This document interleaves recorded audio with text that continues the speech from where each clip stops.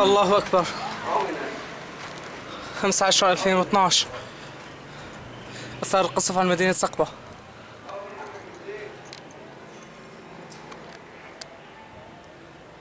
الله أكبر.